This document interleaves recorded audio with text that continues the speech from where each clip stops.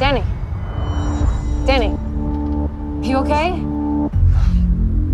It's just a bad memory. It's in the past. I hope so.